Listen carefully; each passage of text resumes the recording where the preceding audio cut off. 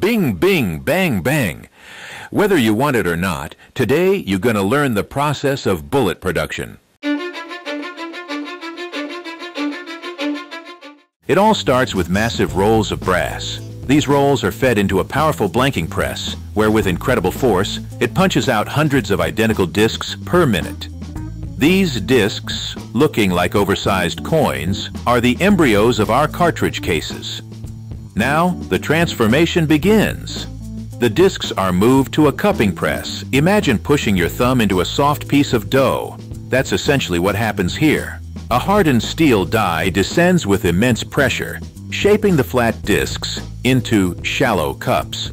But the journey isn't over yet. These cups need to be elongated and refined. They enter a series of drawing presses, each one progressively squeezing and stretching the brass. Like pulling taffy, with each pass, the walls become thinner, the case lengthens, and it starts to resemble the final product. Now, it's time to create two crucial features, the primer pocket and the flash hole. A specialized press with a precisely shaped tool descends upon the case head with incredible force. In a blink of an eye, the flat base is transformed. A precision drill, guided by lasers and advanced sensors, makes its entrance. With pinpoint accuracy, it drills a tiny hole through the base of the primer pocket, creating the crucial link between the primer and the propellant. Our cartridge cases have gone through a lot, They've been stretched, squeezed, and shaped, and all that cold working has made the brass hard and brittle. That's where annealing comes in. The cases are placed in a carefully controlled furnace where they're heated to a specific temperature. But it's not just about heat, it's also about cooling. The cases are slowly cooled in a controlled environment, allowing the brass to relax and lock in its newfound flexibility. This precise heating and cooling cycle is crucial for achieving the perfect balance of strength and ductility. Our cartridge cases are primed and ready for their transformation into live ammunition, adding the propellant and the bullet itself. First up, we need to carefully measure and dispense the propellant, also known as gunpowder. It's time for the star of the show, the bullet.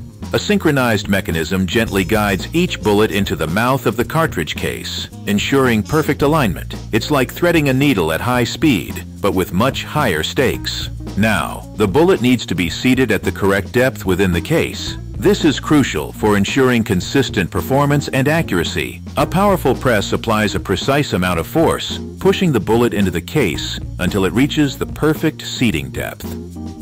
After the propellant and bullet are seated, the cartridges undergo a rigorous inspection process. Every single cartridge is meticulously examined to ensure it meets the highest standards of quality and safety.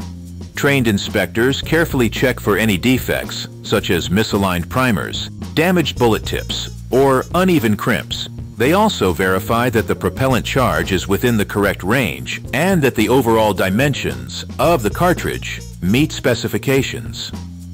Advanced measuring equipment is used to ensure that the cartridges are all uniform in size and shape. Any cartridges that fall outside of tolerance are rejected and either reworked or discarded.